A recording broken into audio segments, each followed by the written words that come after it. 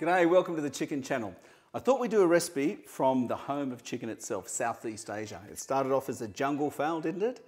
And now look where it is, all over the world, the most popular meat on the planet, without a doubt. Okay, we're going to use chicken breast and we're going to do a Thai style salad.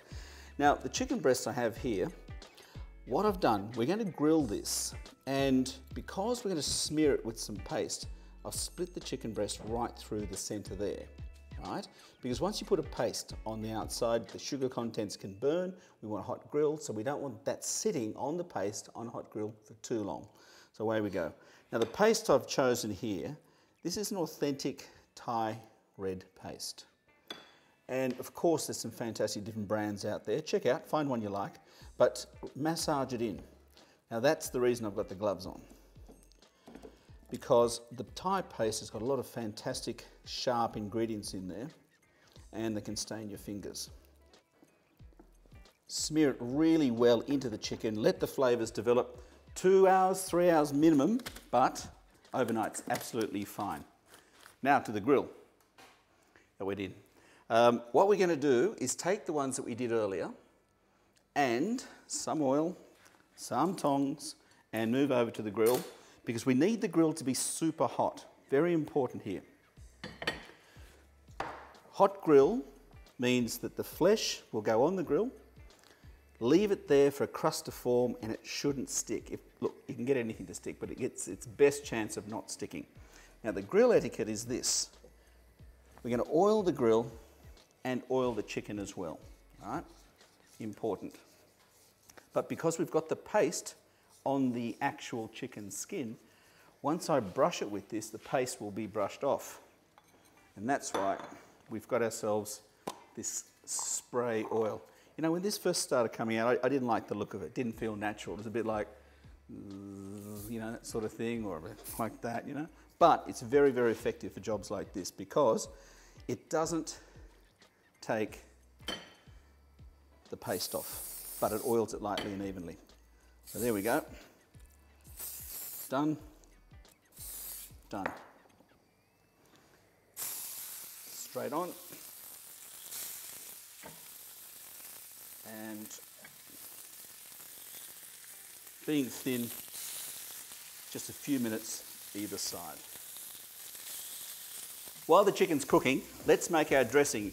Now this dressing embodies a very important principle in all cooking. Happens to be Thai, but in all cooking. I'm adding here into my bowl, this is palm sugar, right? And you really don't need to know the quantities because you're going to do this to taste. I've got some fresh limes and I have some fish sauce, right? These three ingredients, sweetness, sourness and saltiness, you add to your own taste. So into the palm sugar, I'm going to splash in a fair bit of fish sauce. Now this has become such a mainstream ingredient, fish sauce. It's no longer considered to be obscure or slightly strange or even stinky for that matter. But when it first came out, it had a very, very unusual, strong, pungent sort of a smell. But it's such a wonderful flavour mixed in with other things. There we go, just doing that to taste. Lime juice, also to taste. Now these are the Tahitian limes, they're the ones we get in Australia, and they don't have seeds. But you want this dressing that we're making to be quite sharp. So I'm quite happy to put in whole two limes for that sort of rough quantity there. In we go. Now what we've got there is a classic balance of sweet, salty and sour. And at this point, I would taste it. In fact, at this point, I will taste it.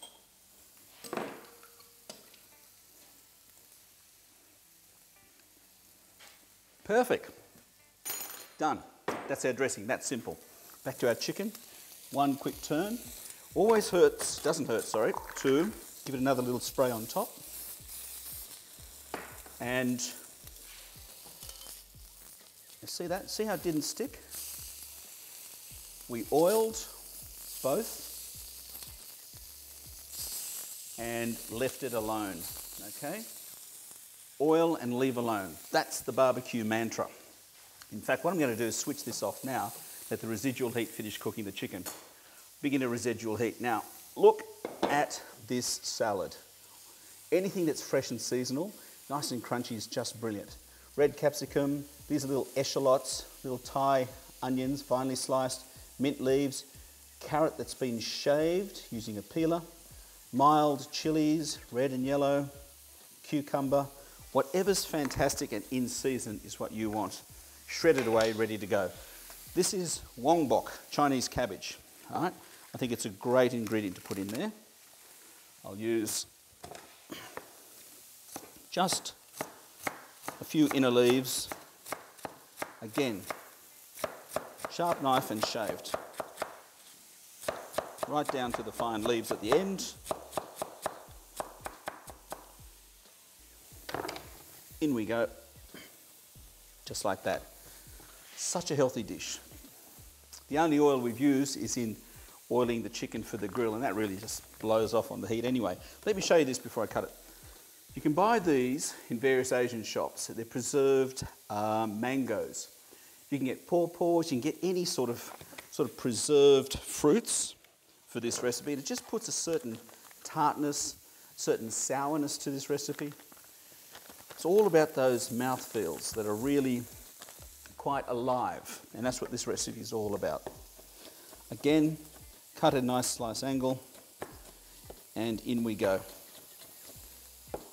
Earlier, to prepare the garnish, I prepared some peanuts, just some raw peanuts, which I toasted on a gentle heat until, they started to brown up on the sides, and then removed them and chopped them similarly, so that provides a bit of a crunch as well.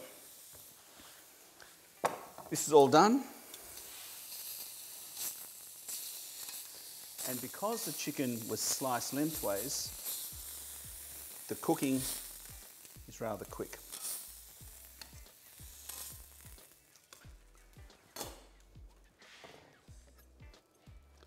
I've got no feelings in my fingers whatsoever, so at home, if you're going to do this, let it sit there and rest for a while. Right, perfect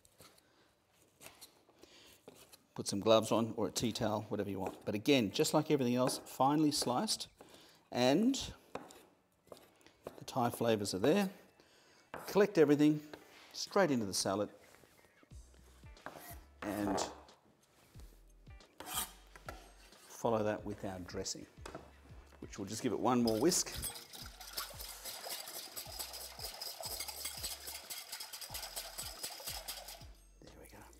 Put about three quarters of the dressing onto that. Right, just a toss to make sure everything gets some of that wonderful dressing, including the chicken there.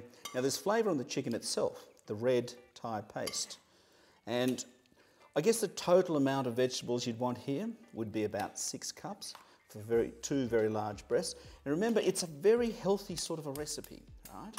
Loads of fresh vegetables, lean chicken, and I really should be eating more of it to be telling the truth. Anyway, there, done. All we do now is present. We just mound up a huge pile on every plate. But just want to show you one thing. You know the kaffir lime leaves? Right, here's one now. Right, you can see they're joined together. All we want to do is shred some of these. They've got a fantastic flavour. I'm just removing the stem. So you can see the in the center there, there's that stem. Let's remove that, discard that. Line up our leaves and with a very sharp knife. Now if you've got a sharp knife you can do this at home, otherwise you can not do it, leave it out. But the trick is just shave little bits like this. Because if it's too chunky, you get a big strong mouthful, but the presentation is classic Thai and the flavours are also fresh and lively. That's all you want, shreds like that. To serve our dish, find a nice Thai looking plate, pile up a big pile of salad on top of that, and the garnishes are very, very important. Nice and crunchy, deep fried shallots, the peanuts that I did earlier, and then drizzle some more of the dressing all the way around that and finish off with the Thai leaves. Back to the home of chicken for one of those classic Thai recipes. I think you'll love it.